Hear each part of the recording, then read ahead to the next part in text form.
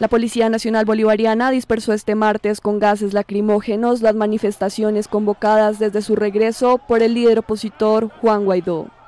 Cuando los manifestantes llegaron a Chacaito, zona de la capital controlada por el chavismo, Guaidó tomó un megáfono y les hizo saber que en la marcha estaba la representación política de Venezuela. Somos muchos más, es la mayoría del pueblo. Ustedes quieren cambio, ustedes están desesperados, me lo han dicho. Me lo han dicho sus superiores, me lo han dicho los que hoy les dan órdenes inconstitucionales. Los manifestantes forcejearon con los agentes después de cerrar el paso para continuar con la marcha. Guaidó los llamó cómplices de la dictadura.